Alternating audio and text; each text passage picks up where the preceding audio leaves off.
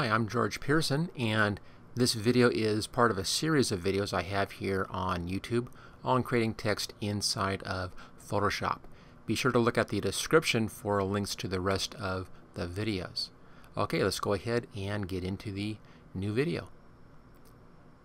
In this Photoshop text project, we're going to do something a little bit fun here, do some starry kind of science fiction-y kind of text in here using some very straightforward techniques, but it gives kind of an interesting look, interesting outcome on this thing.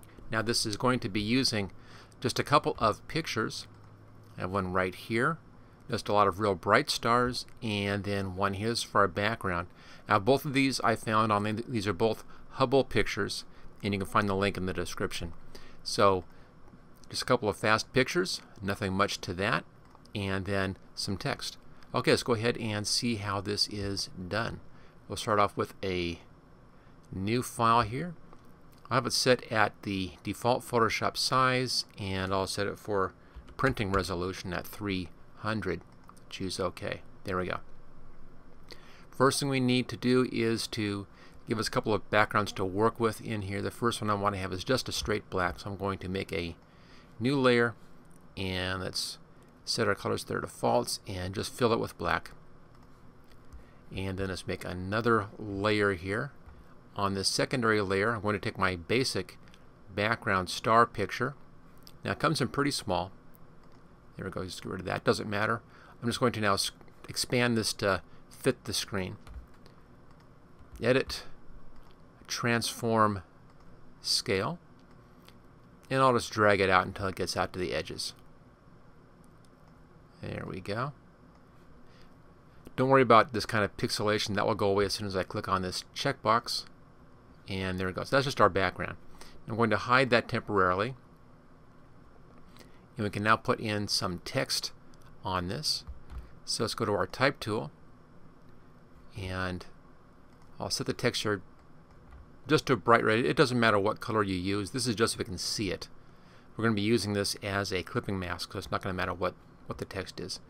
Click in here and then I'll just type in stars. Now I'm using a typeface called Showcard Gothic. It's right there at the top. It's a real big, fat, bold typeface. Any typeface with a lot of black to it will work out just fine. It just gives you some place to put your image inside of. Let's now position this and resize this to fit the screen. So edit, transform scale again. I'll hold the shift key down so this thing will scale proportionally. And then I'll drag the corners out until I get a good, nice, large size just like that. There we go. So, and apply that. There's our, our text. Now, let's put our star field into the letters. Real easy to do. We'll go back here, grab our star field image. There it is. I'll just float that out like that. Drag it on top there's the star field. And let me just bring it just to the edge of that one letter. Let's make a copy of this. Pull it down to the new layer button, make a copy, drag that over. I can now select both of these, hold the shift key or control key down, right click and merge layers. And let's kind of position them like that. I need to get rid of this seam in the middle and that's easy to do using the clone stamp tool. So clone stamp tool. Now it's pretty small, so I'm going to bring my size up here. Looks like about 200 or so on this. That's pretty good. It's 199. Good enough. Just a few fast clone stamps. I'll alt click out here somewhere and then clone stamp in there to hide that. Alt click, clone stamp right there. I'll click little clone stamp in here. This is just to, again, to hide that seam. This doesn't need to be perfect because we're going to be coming in and clipping this into the letters. Okay, so that gives us our star field for going inside of our lettering. Let's now make a clipping path on this. So we have the text underneath, our star field on top. The star field is selected and we'll go up to layer, come down here to create clipping mask. There we go. And that just clips it inside. Now I can move that around until I get just the right look. So you kind of play with it until you get a nice, a nice look. Notice if you go too far, you get to see the, the actual lettering in there. You know, it looks like that's pretty good. That's some nice bright stars in a few of these. So that's good. Uh, that takes care of the stars in the lettering. We now want to help these stand out from the background just a little bit. And we'll do that with some layer effects, either the FX down here at the bottom, or so you can see what I'm doing, layer and layer style right there. I'm going to do two things in here. I'm going to be doing a stroke and an outer glow. Let's start with our stroke. And I'm just going to set this, just leave it the stroke on, size 3 at black. We'll leave that as is. We'll adjust that in just a second. Come down to outer glow, and in here, let's change this color over to kind of a a nice bluish tone here. It's still very, very light, but a bluish tone might be nice. You can use you know, any, any tone you want actually for this. It's really up to you. And you may want to come back in and play around with this a little bit once you know what the nebula looks like in behind. You may want to play around with your glow a little bit. I'll just do kind of a bluish, kind of light blue glow here. Now to see this thing, we need to increase the size. There we go. And increase the spread a little bit.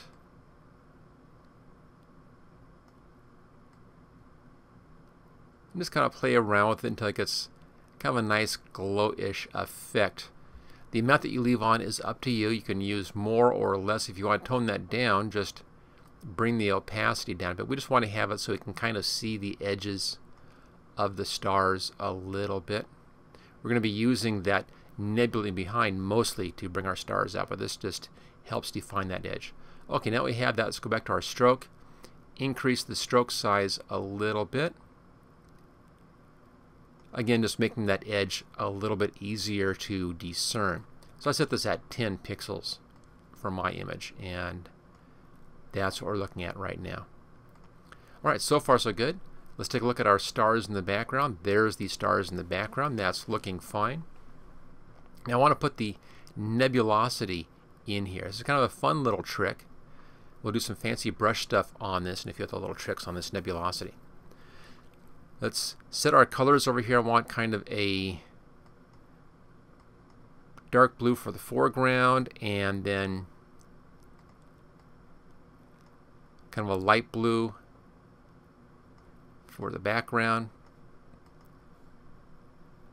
Something like that. You know, nothing exact. Just a couple of, of nice colors. Let's come down to this star layer, put a new layer above this. We actually have one sitting right down there, so I'll just drag that up. So you want a clean layer above your stars. And then let's go back up here to our brush tool. And looking at our brushes, now I've, I've reset these brushes to their default settings. This is just the standard default setting in here. I'll scroll down. If you don't see the images like this, that's because I have mine set for a large thumbnail. Yours may be set on a different setting. So if you want to match what I'm seeing, just set your brushes at large thumbnail. And that's that little gear icon right there. Okay, using the wheel on my mouse, I'm just going to roll down a little bit and there we go, kind of this nebulosity thing. It's 45 pixels across, kind of a nebulous little bit in here. Let's just see what this thing says. Let's put this to large list. And we'll scroll down and see what the name of this one actually is. Per stroke brightness variance. That's kind of a fancy name, but there you go. That's what that one is, per stroke brightness variance, and I'll go back to my large thumbnails. Looks good. Now I want to have this much larger. You can see the brush size there. I want it to be a lot larger, so I'll put my brushes way up. My size way up here.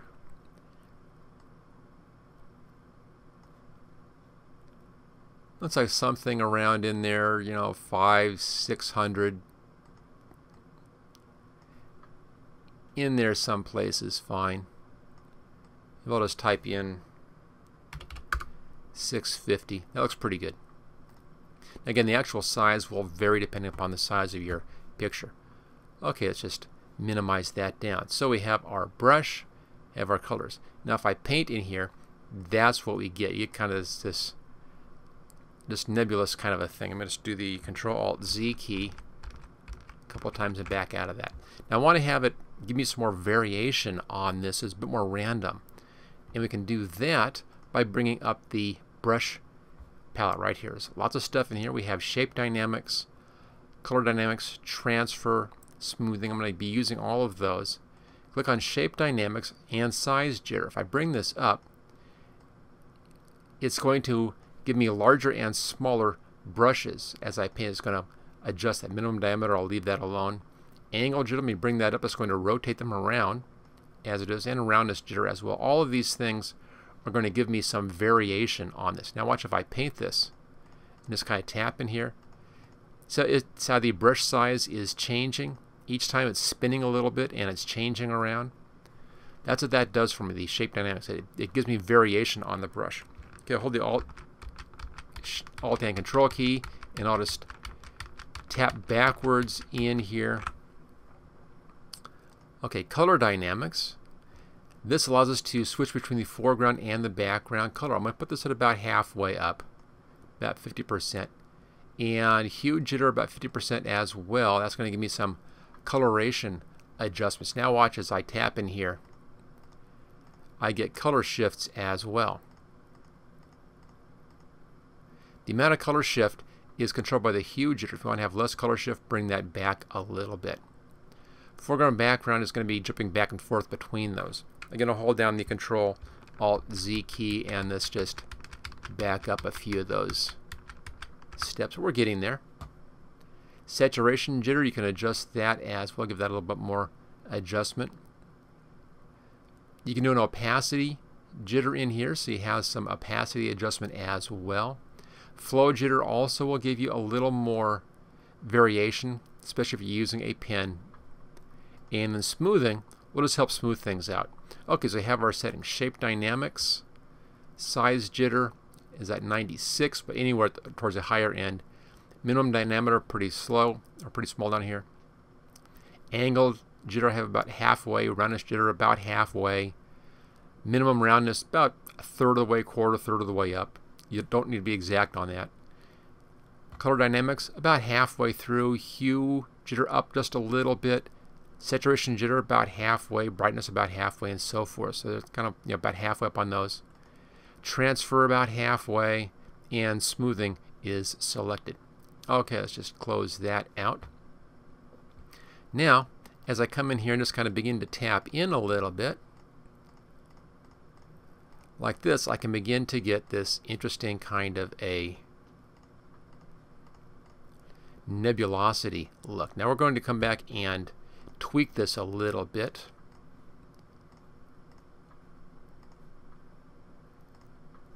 That gives us our basic nebulosity.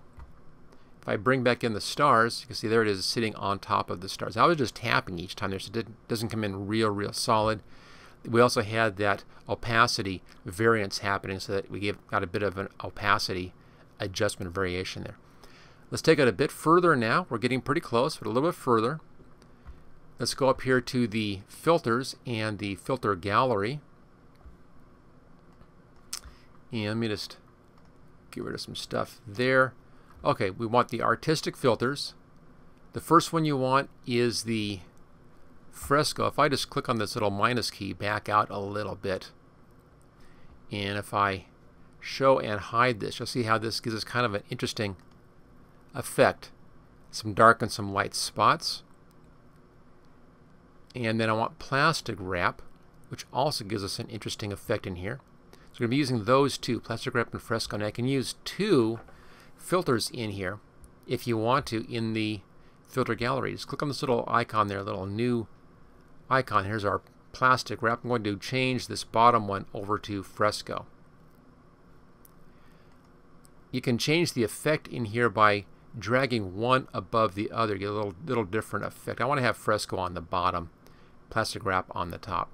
You can also adjust your brush size in here and have some slight changing on that. That's the fresco. Let's take a look at the plastic wrap.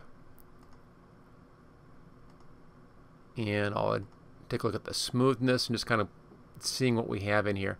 Just giving us, you know, these interesting kind of hard edges in there. There's more detail, there's less detail. I think more detail is fine. Choose OK. And again, that puts in some variation on that, just interesting variation. Now, I don't want to have those real strong edges showing, but I want that variation. So let's now go in and tone that back a little bit by blurring that out. So filter, come down to blur, and we'll use the Gaussian blur. There it is. So there's there's no blur. And then I'll just bring it up a little bit until I just begin to get rid of those hard edges and they begin looking like wispy things instead. So now it has some wispy stuff happening in here instead of that hard edge. Okay. Now the last thing we have is that I want to have some of our stars show through this better, like that one right there. I want to have that showing. So let's put a layer mask on this layer, layer mask button, which is right there, or you could do layer and layer mask right there. Now on a layer mask, white shows and black hides. So let's go to our brush, choose black, choose the brush here. I'm going to put this back to our default brush. Let's choose a real soft brush and bring the size down a bit. About 200, 250 in there somewhere. And then I'm going to be, be painting on the mask. Make sure that your white outline is around your mask layer and then I can come in here and I can just paint on that mask. I can also come in and using this I can put a little more variation into my nebula just by tapping in a few spots. Anything which I'm not really happy with I can go ahead and do that and then bring back in that nebula a little more just using the layer mask to hide some of that nebula. Right, I want to have that, that star showing better. There we go, kind of showing through. Make sure that's nice and bright. Okay, there we go. That's how to just kind of interesting, spacey sci-fi look on the stars. Again, it's pretty straightforward. Notice that we, we put in that glow, outer glow around the text, and it's pretty hard to see now. It just kind of blends in with that background. That's what I was, I was saying, is that we're not really going to be seeing that, but it's going to help us define the edge of those letters.